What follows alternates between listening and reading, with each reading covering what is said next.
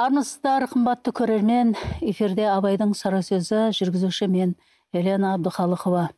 Бүгінгі студиямыздың қонағы ақын республикалық мүшәйралардың лауреаты айдын байыс. Айдын қош келдіңіз. Қош көрдік рахмет. Иә ақын деген сөзден кейін ақ өзі сөздің не туралы болатыны көрерменге белгілі деп ойлаймын. Сөз басын сізді ақын еткен немесе өзіңізді ақын сезінген сәтіңізден бастасақ. Енді өлеңге келу ақындықты сезіну әркімнің басынан әртүрлі болатын секілді. Мхм. Ә, менің де ә, өлеңге тап мына күні келдім деп айта алмаймын бірақ ә, бала кезде жазып жүргенім бір бөлек. Есейе келе мектептің қабырғасында жүріп ә, бір топ өлеңдерім аймақтық өзім өскен балқаш қаласындағы балқаш өңір газетіне шығып мхм. содан елдің бәрі сен өлең жазады екенсің ғой деп назарын бұрғаннан бастап өзіме деген бір ә, ерекше көзқарасты байқай бастадым. Мхм. Өзімді ә, ақын сезініп сол кезде ол неше жасыңызда еді бұл менің 17-18 жасым болатын. Мгм. оған дейін де ә, жазып жүрдім бірақ ешкімге көрсетпей мхм. ә, оңашада ә, жақын бір екі адамға ғана оқытып жүретін бірақ ә, белгілі бір өмірімдегі оқиға десем де болады. Бір оқиғадан кейін менің жалпы ақындық жолға ә, бет бұруыма үлкен ықпал еткен ә, бір ағамызды айтып өткім келеді. Иә. Ә, ол кісі ә, ақын журналист ә, балқаш қаласының руханиятында ә, қалтқысыз қызмет етіп жүрген нұрдос кәрім деген ағамыз. Мхм. Ә, жаңағыдай менің қалам ұстап ой кешіп өлең жазып жүргенімді естіп мен оқып жүрген мектепке іздеп келеді арнайы Ә, енді екінің бірі ә, егіздің сыңарына қона бермейтін өлеңіңді ә, бағалап осы баладан бірдеңе шығады ау деп іздеп келгені арнайы мен үшін бір тосын оқиға болды. Мхм. Кейін де ә, жанына тартып ол кісі өзі отыратын балқаш өңірі газетінің редакциясына шақырып мхм. қолыма кітап беріп мынаны оқы деп ә, бағыт бағдар беріп отырды. Мектеп жасыңызда жүргеніңізде мектеп иә жасында оныншы сыныпта. Оған дейін мен тек абай мен шәкәрімнен ғана оқып солардан ғана мысал айтып әбден санама сіңіріп алғам жастан оқып жүріп. Ыыы, одан кейін жаңағындай енді қадыр мұқағилар болса болмаса оқыдық қой. Мхм бірақ қазіргі замандағы әдебиет қазіргі жастардың жазып жүргені мынандай деп ә, жас толқын сериясымен шыққан кітаптарды ұсынып міне мына жазғаныңды былай өзгертсең қалай деп мені былайша айтқанда ә, баулығандай болды. Осы жолғы талантымды танып ә, әдебиет әлеміне жетелеп алып келді десем болады. Абай мен шәкәрімді жалпы ә, өте бір сөздің парқын түсінетін адамдар болмаса ә, ересек адам болмаса түсіне беруі неғайбыл ғой шынын айту керек қой. Қай жасыңызда қай ә, сыныпта жүрген кезіңізде оқыдыңыз? Мен өзім балқаш қаласындағы ә, нөмір екінші абай атындағы лицейде оқыдым. Мхм. Біздің мектепте абайтану деген пән болатын бастауыш сыныптан енді ол жерде абайдың ә, ғұмыр баяндық өмірі ә, қара сөздері. қара сөздері ә, сол жасқа қабылдауыңа орай ә, ұсынылатын өлеңдерін оқып иә. өстік. Бірақ ә, әр оқыған сайын ә, адамның өзі есейе келе сана сезімінің өсуіне байланысты оны қабылдауы да иә. өзгереді ғой жаз күз деген өлеңдерді Иә. оқытады ғой енді одан бастайсыз қыстан бастайсыз жаз отырын оқисыз. Иә. Кейін келе жаңағындай жалпы ә, ұлттық деңгейдегі жалпы адамзаттық деңгейдегі ойларына ә, бірде түсініп бірде түсінбей соны қорытып сонымен әуре болып өзіңмен өзің.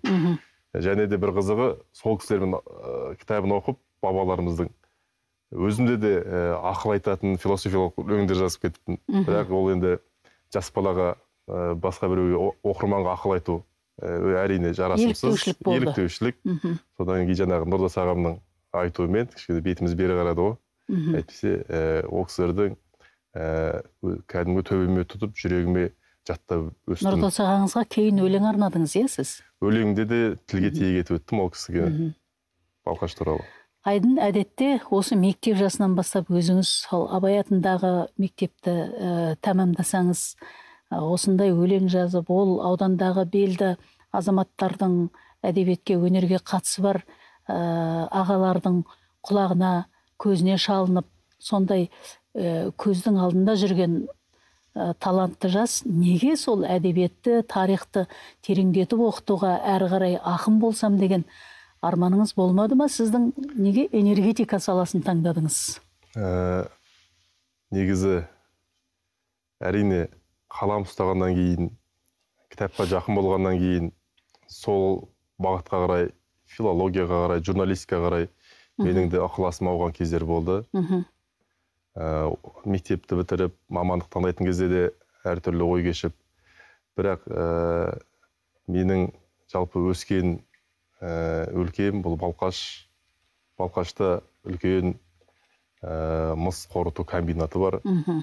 Менің атам әкем әкемнің бүкіл ағайыны ә, сол Иә. зауытта қызмет етіп кейбіреуі әлі күнге дейін қызметте сонда және де бүкіл өмірі сол өндіріспен байланысты болғаннан кейін ол кісілердің ұғымында ә, шыны керек мынау әдебиет деген ә, сала аса бір бағаланбады деп ойлаймын. Мхм. Бірақ мен ол кісілерді ештеңе деп ешқалай айыптамаймын.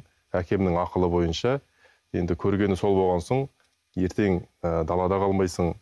Ә, бұл техникалық мамандық өлмейді деп мхм. мені осы мамандықты таңдауыма ақыл қосқан ә, әкем және де әкеме Иә. мен еш ә, ренжімеймін тек қана алғысымды білдіремін және де бір жағынан мен өзім ә, мектепте жүрген кезде ә, математика пәнінен ә, олимпиадный олимпиадалық ә, Иә. жарыстарға қатысып ә, сол жаққа да ә, бейімім болды. Мхм. Ол да бір әсер етті деп ойлаймын. Енді мен ә, физиканы таңдап кейін астана Иә. қаласындағы гумилев атындағы еуразия ұлттық университетінің жылу энергетика кафедрасына оқуға түстім. Мхм. Ол да бір өте қиын мамандық иә? әрине әрине. Және де бұл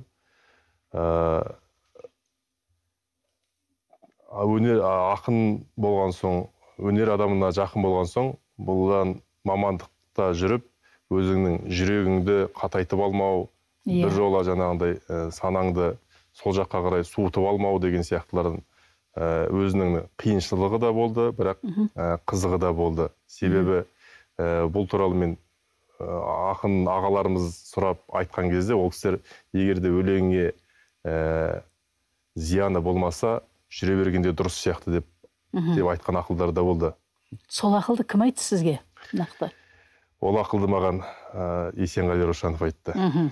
Өйткені журналистика деген ә, ел о- ойлағандай оңай дүние емес ә, Иә. жаза салдым деп. Бұл да да үлкен қажырды қажет ететін ой еңбегімен жауапкершілікті жүктейтін мамандық. Ә, яғни егер де өлеңе жаңағындай ә, зияны тимесе кері әсері болмаса мхм. алып жүре алсаң онда сол мамандықта жүре бер дегендей ақыл айтқан еді. Мхм. Ә, бір жағынан енді ақындық та мамандық емес қой енді. Мхм. Филологияда жүріп те мысалы қалам ұстап кейін де мысалы қойып кеткендер де бар. Иә. Яғни ол өзіңізге байланысты деп ойлаймын. Мхм. Өзіңіз қалай алып жүресіз? Өзіңіздің сол дүниеге сол қасиетті қаламгер дүниесіне деген өзіңіздің құрметіңізге байланысты. Сіз сол себептен де тоққа түсу түк емес ау көз жетті отқа түсу қиын екен өлең деп сонда сол мамандығыңыз жеңіл ме? Жоқ өлең жазу ә, жеңіл ме? бұл өлеңді енді өлең деген өмірден алынады Иә. менің ұғымым бойынша. Бұл өлеңдердегі ішіндегі оқиғалар болсын бәрі өз басымнан өткен мхм ә, ауылда жүріп ә, тоққа түскенім бар бірақ ә, мен өлеңде ә, юмор сарказм болғанында да құп көремін бұл сондай ә, сәтте жазылған жолдар деп ойлаймын. Әйтпесе тоққа түсіп ә, ешкім де ақын болып кетпейді ғой әйтпесе. Иә. Бүкіл електіктің бәрі ақын болып кетуші еді. Сол орай келіп айтылған сөз ә, ал нақты өлеңнің ә, қонған кезде енді ол әрине менің ойымша ә, сенің бұл дүниеге шыр етіп келуіңнен маңдайыңа жазылатын ә, бақ деп ойлаймын. Ә, ол салада жүріп те ә, түрлі қызықтар болады қиыншылықтар болады бірақ айналып келіп бәрібір ә, жүрегіңді жырдан алыстатылмайсың деп ойлаймын. Мхм. бәрекелді айдын. Ә, сіз алмат деген өлеңіңізде сау басына сақина тілеп алған осы бізге расымен міндетті өлең дейсіз. Иә рас. Бұл ақындық жалпы сіздің ойыңызша жаңа айтып отырсыз ғой ешқандай мамандығыма кедергісі жоқ. Міндет пе дерт пе ә, мұрат па әлде серт пе? Сіздің ойыңызша қандай? Енді егер де шын адамға сөз қонып маңдайыңа жазылған болса мхм. онда сен сол арқылы қалам ұстау арқылы ұлтыңа қызмет етуге міндеттісің деп ойлаймын. Бұл жолда сенің қа- қалтқысыз қызмет етуің бұл жолда қалам тербеуің ә, ұлтқа ә, пайдасы болатындай дүниелерді жазу бұл сенің мұратың да міндетің де деп ойлаймын. Ал дерт жағына келсек әрине ә, сөз өнері дертпен тең деп абай айтқандай бұл ә, дерт және де сертте де қабылдауға болады. Себебі ә, серінің семсеріндей сертке таққан деген сияқты бұл өнерді алып жүрген соң мхм. сен ол үшін жауаптысың және сол сертке өзіңнің бүкіл жан дүниеңді байлап бересің. Мхм.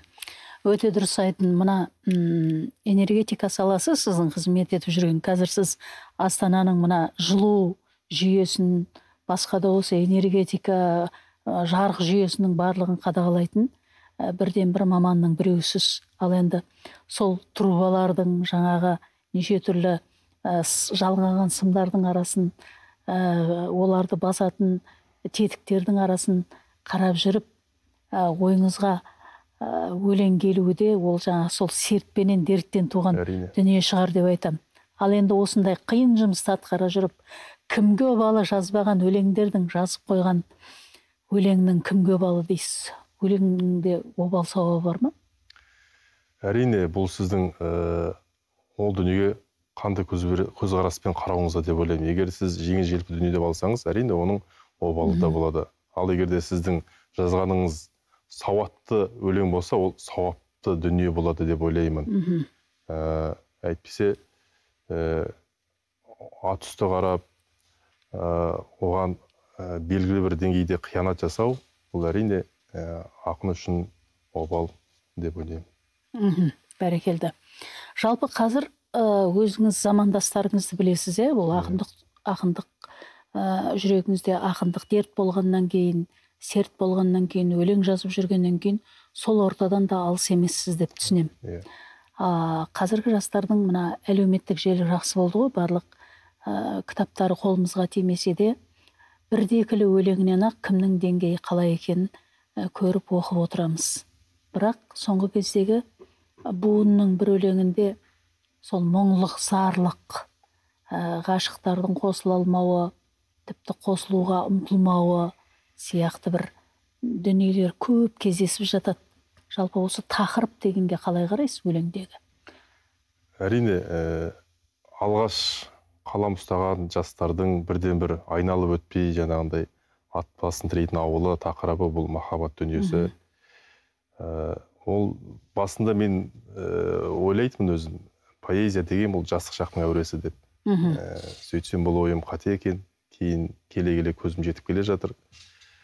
Ә, тақырып аясын кеңейту кеңіту бұл да бір жауапкершілікпен келетін дүние деп ойлаймын. Мхм. Себебі ә, сіздің қалам ұстап жазып жүрген кезіңіз ә, өзіңізді өзіңізбен бірге өлеңіңізді есеймесе ә, ол да бір ә, жауапсыздықтың бір белгісі. Мхм. Ақын егер де осы жолда ә, мұрат қылып ә, бір еліме бір артымда сөзім қалатындай дүние жазайын деп ә, міндет қойса мақсат қойса онда ақын да талмай тынбай үнемі ізденіс үстінде болу керек.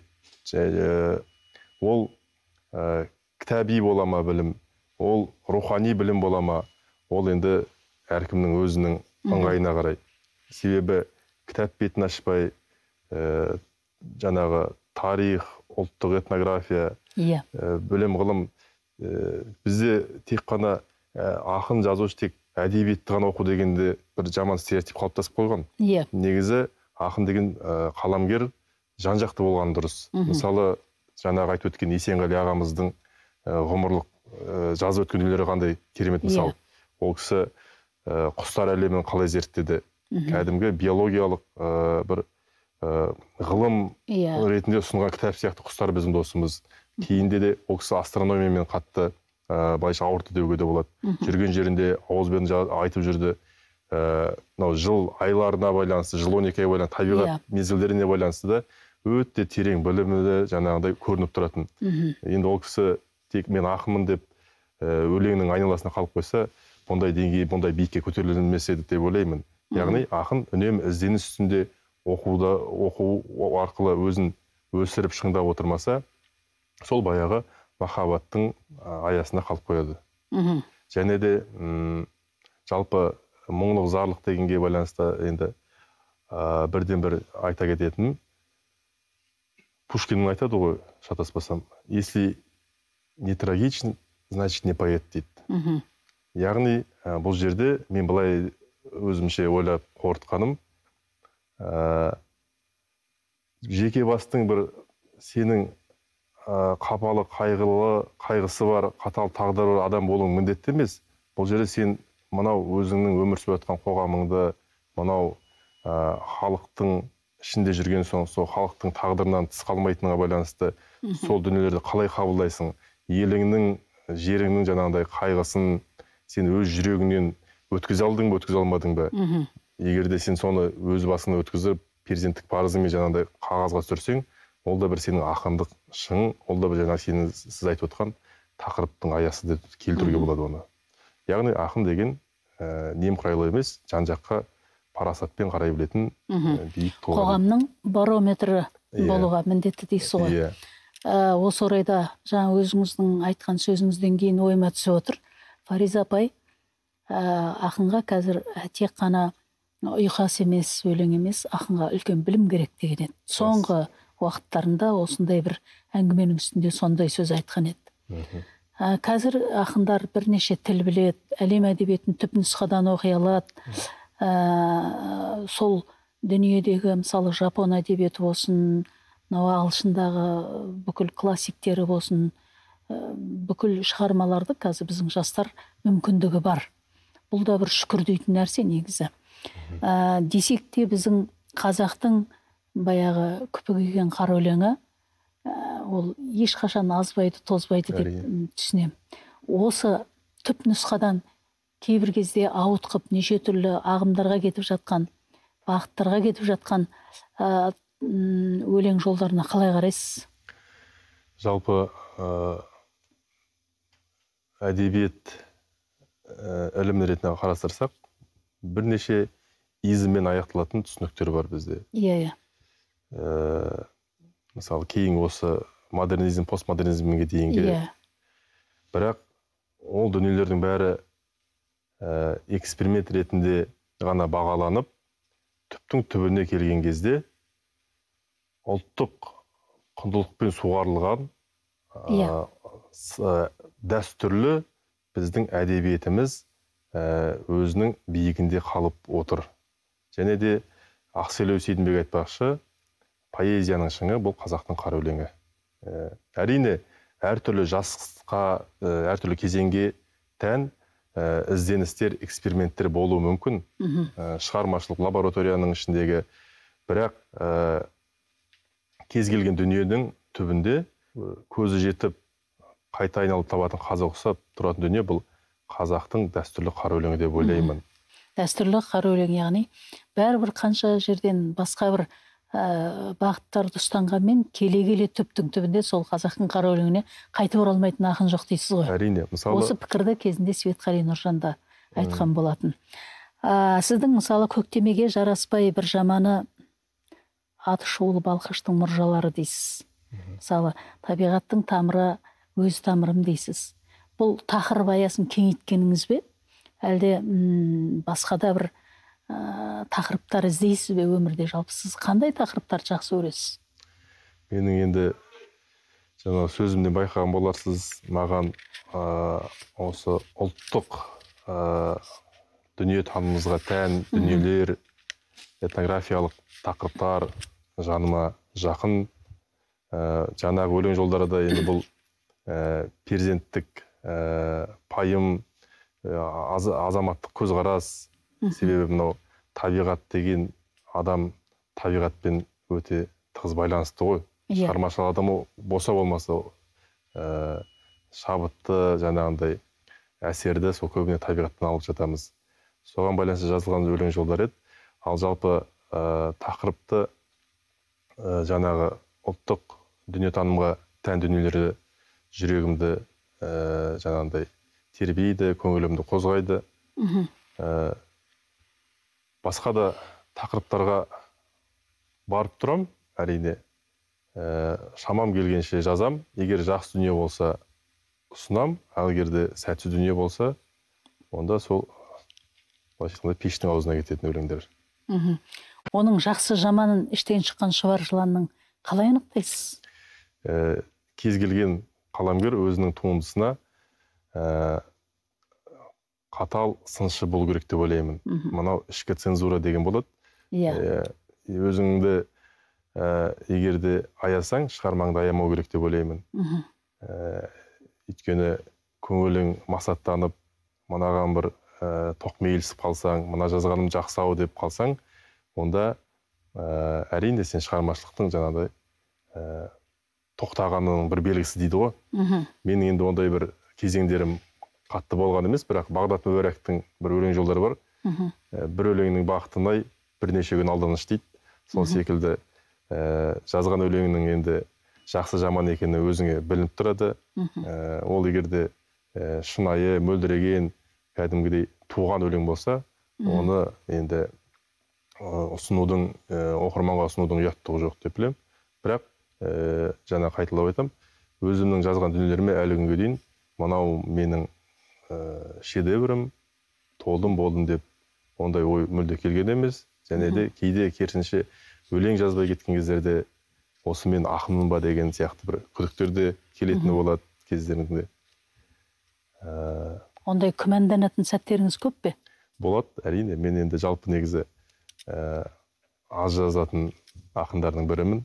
Мхм. бір жылдары ә, маралтайдың бір мақаласын оқып отырып жылына жеті сегіз өлең жазамын деп жазған деп жазған оқыған кезде ойлап едім таңқалып қалай сонда бұл жылына жеті сегіз өлең деген аз ғой деп сөйтсем ә, жаңағындай жауапкершілікпен қарайтын болсақ бір жылда егер де сіз өлең деуге тұратын дүние жазсаңыз жеті сегіз өлең, өлең жазсаңыз бұл аз олжа емес деп ойлаймын. Мхм.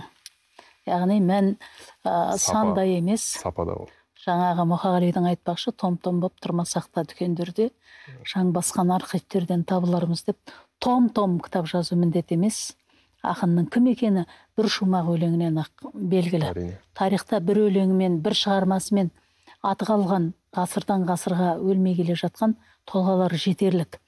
Ә, мына әдетте мысалы сіз мына мен қолыма кітабыңыз тиген кезде жастық шақтың жырларын ә, көбірек жырлағанға ұқсайсыз. Өйткені мектеп жасынан қалам ұстадым дедіңіз. Жалпы біз осы мынау жастық шақтың жыры мынау есейген есті жыр осы өлеңде жас бола ма ақында жас бола ма жалпы? Сіздің ойыңыз қалай? Меніңше болады деп ойлаймын өз басымның пікірім. Ә, себебі жаңағындай алғаш жас күніңізде жазғаныңызге қарап сіздің есеюіңіз бар. Өзіңіз есейгенмен бірге өлеңіңіз де есейіп отыру керек деп ойлаймын. Мхм. ә, мысалы қырық жасында жиырма жасар баланың өлеңін ұсынып жазып жүрген болса ол әрине өте ұят нәрсе. Ә, ал ә, мысалға келтіретін болсақ өтежан нұрғалиевтің шығармашылығын айтар едім мхм. ол кісінің ә, шығармашылығын үшке бөледі. Иә. Үлкен ағаларымыз әдебиетшілер. Бұл бірінші ә, менің махаббатым тұңғыш кітабы. Сол кезеңдердегі жазылған ә, алғашқы өлеңдері өте бір жандай шынайы сыршыл мөлдіреген өлеңдер. Орта жасқа келген кездегі ол кісінің соғыстың соңғы жазы деген өте бір қасіретті қан тамып тұрған шындықты жазған бір иә. үлкен сүбелі дүниесі қазақ әдебиетіне олжа болып қосылған төрт томдық шатаспасам еңбегі. Және де өмірінің соңында жазған афина мектебі деген кітабы. Бұл әрине уже ә, гректердің жаңағындай мифтік мифологиялық философиялық дүниелеріне барып ә, ақыл ә, парасатқа қарай ә, философияға қарай ойысқан кезеңіндегі жазған дүниелері арқылы ол кісінің сол жазған кітабы ол соңғы бір ә, өмірінің бір бөлігі ретінде де қарастыруға келеді дейді. Яғни жастық шақ орта буын және де ә, қарттық деген сияқты. Мхм. сол сияқты әр ақын өте өтежан сияқты. Өсіп отыру керек деп ойлаймын. Шығармашылығында өркендеу болу керек. Жаңағындай әртүрлі тақырыптарға барып ә, былтыр ғана ғалым жайлыбай ағамыз айтып еді сендер енді жас ақын емессіңдер деп. Мхм. сол сияқты бұл жерде енді ә, жауапкершілікті айтып тұр ғой кісі әр жағындағы. Үлкен үлкен тақырыптарға да бара білу керек. Ә, құр эмоцияңды ғана жырлай бермей деген сияқты. Сондай дүниелерге қарап енді менің ойым әрине есею керек деп ойлаймын. Мхм. ал ұлықбек ағамыз ең ұлы ақын жас ақын деген екен. Рас. Сонда қартайған жасы келген ақындарды кім деп атаймыз сіздің ойыңызша? Жоқ ол кісі енді ақын ғой. Ол жерде енді маралтай ағамызға арнаған өлеңі ғой. Мхм. ең ұлы ақын жас ақын деп. Бұл жастарды қанаттандыру үшін айтылған жол деп ойлаймын. Әйтпесе ә, әрине жас ақын деп әлемдік әдебиеттен үлгі алатын болсақ біз артур рембоны айтамыз. Мхм. 17-18 жасында. Ә, ғана сол жасқа дейін ғана жазып өзі айналдырған 15 өлеңімен ғана әдебиет тарихында қалды. Мхм. және де ә, гений деп те иә. құбылыс ретінде де бағаланды. Бірақ кейін білесіз жаңағыдай саудаға құл саудасына айналысып әдебиеттен біржола алыстап кетті. Мхм. сол жазған дүниесі әлі күнге дейін мысалы ыстығы басылмай буы бұрқырап тұрған дүниелер сол бізде де ә, жастарды бақ- уақытында кезінде бағалап оларды бір ә, жылы сөз айтып қолдау ретінде ағалардың ықыласы өте ауадай қажет деп ойлаймын. Мхм. сондай бір таң алатау мұнарлап көз келмейді әзірше ғой әзірше деймін бірақ дейсіз. Осы жаңа өзіңіз айтып отқан ағалардың ықыласы үлкен буынның көзіне түсу бұл міндетті ме? Кейінгі ұрпаққа? Енді бұл өлеңім өте дұрыс байқап отырсыз. Иә. Астарында сол меңзеген дүнием сол болатын. Иә. Бұл ә, 20 жасымдағы бір амбициямен макси, жастық максимализммен жазылған жолдар. Өйткені өзің қалам ұстап жүргеннен кейін мойындатқың келеді әдеби ортаға көрінгің келеді. Ә, әрине ә, оның бәрі өз кезегімен келетін дүние. Мхм. ә, біреуді таңғалдыру үшін біреуді ә, мойындату үшін өлең жазылмау керек өлең деген жаңағыдай өзі ә, кезеңі келген кезде бағасын алады. Егер де жалғызғаның жақсы дүние болса өткір кездік қап түбінде жатпайды дейді. Сол сияқты түптің түбі бір жарып шығады ғой. Мхм. Сол кезде өзім талай мықтыны мойындағам енді өзімді соларға мойындатам Мойындатамын. деп мұхтар ағамыз айтпақшы енді. Иә. сіз де сол принципті ұстанып жүрсіз ғой. Айдыннан айтыңызшы жалпы өлең сапарында сіздің осы маңдайыңыздан сипаған үлкен буын алдыңғы буын ағалар өтті ғой біздің алдымызда талай ұлы адамдар дейікші? Кім?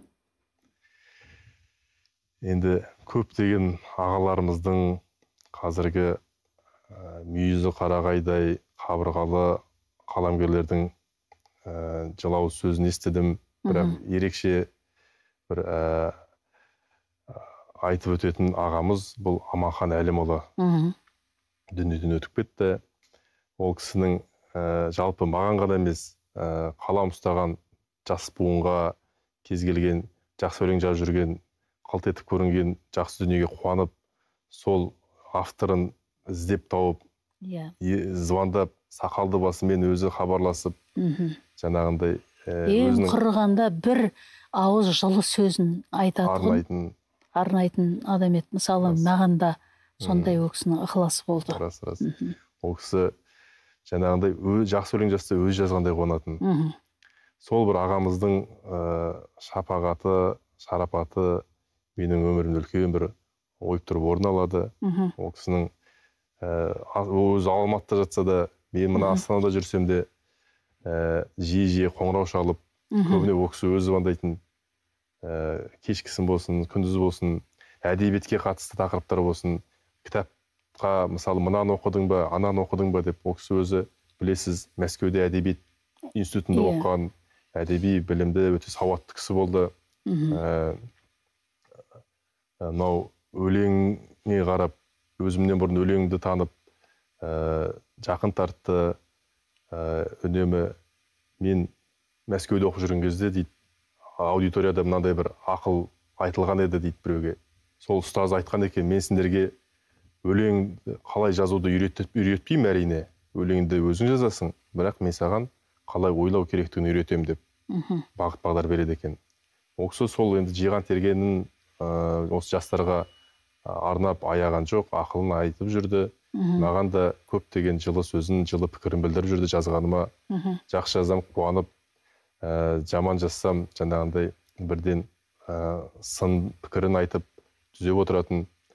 Жалпы ә, осы сын туралы да бір айта өтсем деймін. Иә. Ә, мынау бізде қазіргі жазып жүрген жастар көбіне әлеуметтік желіде де байқаймыз. Ә, жылы сөзді жақсы қабылдап ә, қатты пікірге сын сауатты пікірге ә, кішкене кіжірейіп қалады. Иә. Мынау көтере алмай қаламыз көтере алмай қалады.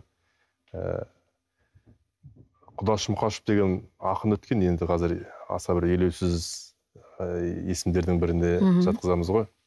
Сол кісі айтады ә, ұша білген балапан қонуды да біледі сипай білген алақан соғуды да біледі дейді. Мхм. яғни алақанмен сипап тұрып сенің егер де ә, артық кеміңді ә, сипап тұрып сылып тастайтын болса сенің енді оны бір қатты бір тағдырдың таяғы деп емес қатты бір соққы деп емес дұрыс қабылдай білу керек деп ойлаймын мхм. жастарға да соны ә, ескерсе екен деймін мхм. оның ішінде енді өзімде де бармын жалпы пікірге ә, айтылса сауатты пікір айтылса ә, соны қатемді түзеуге мен керісінше қуанамын айтылса деп жатқан жер жарық болсын аманхан ағамыз туралы айтып кеттіңіз ғой. Аманхан ағамыз туралы сіздің өлеңіңіз де бар екен. Арнаған ол кісіге. Сіздің мына құланиек деп аталатын жинағыңызға ол кісі алғыс сөз жазыпты. Алғыс сөзде маған мына бір сөзі қатты әсер етті. Мысалы былай дейді. «Әм, жас ақын шығармашылық денсаулығы мен тазалығын бұзып алмаса ұзаққа барады дейді.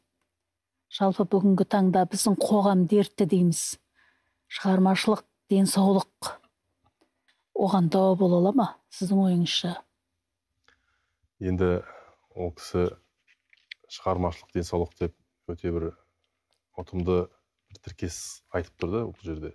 Жалпы шығармашылық денсаулық дегеніміз бұл ә, қалам ұстағаннан кейін оның жазуға отырған кездегі сенің ой санаң жүрек көңілің кеудең бәрі де таза болу керек. Мхм. Егер де сен мынау дүниенің ә, дағын жұқтырып алсаң көңіліңді кірлетіп алсаң немесе біреуге кектеніп жүріп біреуге қызғанып жүріп бірдеңе жазсаң ол өзіңнің де шығармашылық денсаулығының бұзылғаны мхм. тазалығыңның кеткені. Мхм. Яғни ә, қаламгер өзінің бойын таза ұстап шығармашылығына сондай ә, құрметпен қараса және жазған дүниелерінің де ертең бойынан сол тазалықтың есіп тұратыны анық. Мхм. Оны оқыған оқырман мынау қоғамның ә, бірден бір жаңағы дертті жандар ә, қапалы ә, кісілер сол шығарманы оқу арқылы тазарып бойына жанына ем алады деп ойлаймын. Мхм. Яғни сіз айтып отқандай әр қаламгер өзінің шығармасы арқылы тазалығы арқылы басқаға да әсер етеді. Ақтоғайдың арғы жағында қызыларайдың бергі жағында қара жусан жұпарымен жетіліп қара өлең деп қақсап көзде от үміт қазақстанға алаңдайды жас ақын қойшылардың қыстағында отырып дейсіз. Бұл бір кездегі есенин планета болып айналып жүр есенғали ауылда қой бағып жүр. Есенғали ауылда қой бағып жүр есениндей болсам деп ойланып жүр деп бағана сөз басында өзіңіз айтып кеткен есенғалидың сол өлеңінің бір ә, бір тектес сияқты көрінді мен үшін. Жалпы шығармашылық болсын басқа да болсын сіздің қатарластарыңыз сіздің қатарластарыңыз әлі жас деп ойлаймын. Жастардың қазіргі таңда алаңдайтын ортақ бір мәселесі қандай? Енді өте бір ауқымды сұрақ ә, бұған жан жақты жауап беруге де болады. Менің енді бірден бір өзімнің араласатын ортамдағы әдебиетке қатысы жоқ адамдардың ә, бірақ өзімнің маңайымдағы кісілердің бірден бір мәселесі уайымы бұл ә, жеке өзімнің де уайымым бұл мынау ұлттың дамуы. Мхм. Жалпы ұлт мынау әлемде болып жатқан жаһандану ә, деген нәрсе бұл сөз жоқ бұл болатын нәрсе. Мхм. Бұны сіз ә, ешкім де тоқтата алмайды. Ол үлкен процесс. Кезі келген кезде әртүрлі ә, менталитеттерде бәрі де жаһанданумен жаңағыдай өзгеріске ұшырайды. Сол кезде мынау қазақ дейтін халықтың өзінің ұлттық болмысынан ажырап қалмауы мхм. мені қатты бір ойлантады. Әрине мен бір ә, күдіктенемін деп айтпаймын. Бірақ ә, белгілі бір деңгейде ой салады. Себебі мынау ұлттың дамуы дегеніміз оның сипатында мысалы ә, рухани сауаттылық. Мхм. ә, бұл дегеніңіз ә, өрелі мәдениет. Мхм. бұл дегеніңіз ә, біліміңді білігіңді кемелдендіру өзінің дәстүріңнен топырағыңнан кіндігіңді үзбеу деп білемін. Сол арқылы өзіңнің тума та- топырақтан дарыған дүниеңді қоса алып жүріп жаһанданудың көшіне ілесу керек деп ойлаймын мхм.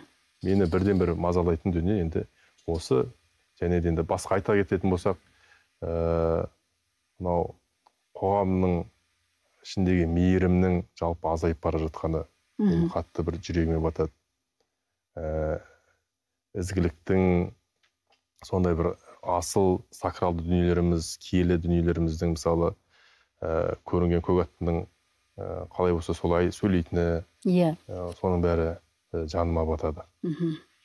бұл осы рухани дүниеміздің әлі таразыға тартылмай жастың жастардың бойына сіңбегендігінің әсері ме? Сіздің ойыңызша ненің әсері бұның бәрі?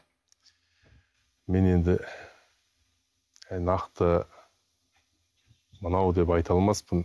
Бірақ енді белгілі бір деңгейде қазіргі мынау бесіктен басталатын тәрбиенің мхм. ә, кішкене ә, олқы тартып жатқаны олқы тұстардың көбейіп жатқанынан деп ойлаймын мхм. бәрекелді шөңге өлең шөпті өлең құдай ақы өзім соны жек көрем дейсіз неге енді бұл поэзия деген өте бір пәкизат таза дүние бұған енді күңіренген дүниені қойыртпақ қылып қоса беру ә, ауылдастың итіне де өлең арнайтын ә, сауатсыздықтан бәрінен жиіренген соң о, өлеңге биік көзқараспен биік ә, талғаммен қарау керек деген оймен айтылған сөздер еді бұл. Бәрекелді айдын.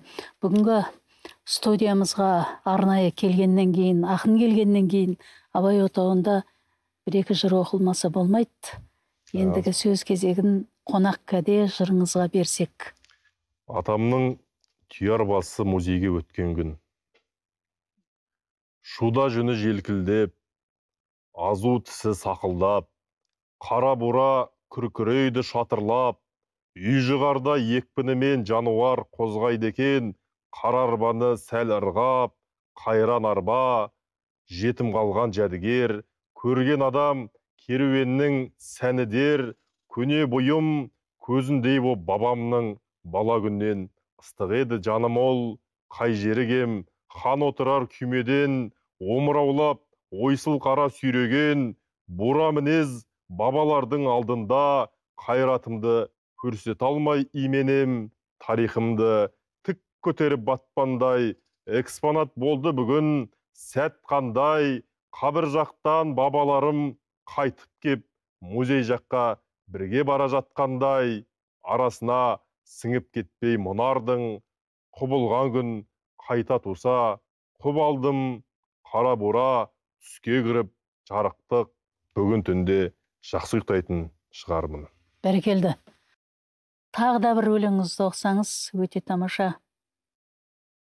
Қазақ болу деген өлеңімді оқып берейін. Мхм. Шүкір алла қабыл боп дұға тілек қорғасындай көз жасын құлатып ек қазақ болу мың бақыт бұйырғанға қазақ болу дегенмен бір ақырет көптен озып көрмеген көштен қалып бұл қазақ бейбіт тілеп өскен халық қайран өмір көгерткен көсегесін майда қоңыр мейірім ескен данық тарқатылса шыдамның қыл шылбыры сан сүргіннің сейілген тылсым мұңы қына басқан бабамның сүйегінен сызып өткен тарихтың кіл сұмдығы дәстүріні аспаса дау кесімнен қасқыр ұлы жапырып жау десірген дәуір лебі қан жоса қажытқан соң ауыр демі сен қозғап тау көшірген тағасын тауқыметтің тасы ғажап. Дем кеткенше болған ғой досын ажақ еңкейгенге еңкейген осы қазақ шалқайғанға шалқайған осы қазақ. Дүбір десе қозатын делебесі көкжиек боп керілген керегесі қоғалы көл қом сулы кең байтағым пейіліне берген ғой деген осы шүкір алла қабыл боп дұға тілек қорғасындай көз жасын құлатып ек қазақ болу мың бақыт бұйырғанға қазақ болу дегенмен бір ақырет. Бәрекелді. Хабарымыз осымен тамам. Айдын сізге шығармашылық табыстар тілейміз. Еліміздің рухы мен рухын жоқтайтын ұрпағымыз. Өлмегей аман болғай тыныштық болғай аман сау болыңыздар.